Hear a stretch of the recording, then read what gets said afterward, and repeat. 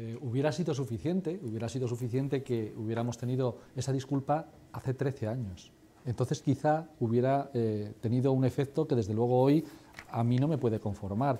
Yo creo que eh, mm, quizá a las familias que han sufrido tanto, pues les pueda servir una eh, disculpa como la que ha manifestado hoy la, ministra de Defensa, pero eh, entiendo que sigue habiendo puntos suficientemente oscuros, como ha sido planteado. no he podido escuchar todo el debate, pero sí la intervención de nuestro compañero Pablo Iglesias, que evidentemente ha hecho una serie de preguntas a las cuales no ha contestado.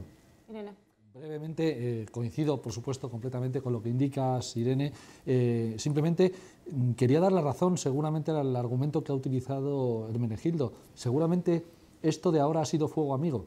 Qué pena, ¿no? Qué pena que ante una verdadera vulneración de los derechos, en este caso de las víctimas, de sus familiares, qué pena que sea el fuego amigo el que, el que se carga realmente a trillo y prácticamente bueno, se lo ha cargado agradeciéndole los servicios prestados. O sea, estamos hablando de algo tristísimo. Tristísimo porque realmente han pasado muchas cosas que evidentemente no están explicadas y que indican claramente que no se ha aprendido la lección. Lo, único que se está haciendo es regateando una situación eh, que, bueno, pues que se combina con otras, otras realidades, y es la minoría parlamentaria del Partido Popular y la dificultad de explicar ante determinados, eh, determinados, en determinados foros una realidad absolutamente incuestionable.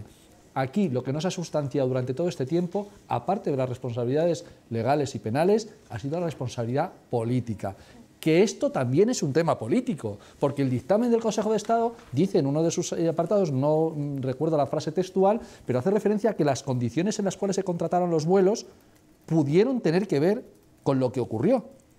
Claro, estamos hablando de algo muy serio. Estamos hablando de algo que, mm, por mucho fuego amigo que le pueda parecer a Hermenegildo, y coincidiendo con que seguramente ha sido así, el, tema es realmente muy serio. El que los dictámenes del Consejo de Estado pasen eh, bueno, pues a formar parte del imaginario de las tesis doctorales de muchos eh, doctorandos no quiere decir que no le hagamos dar una importancia enorme a ese tipo de cosas.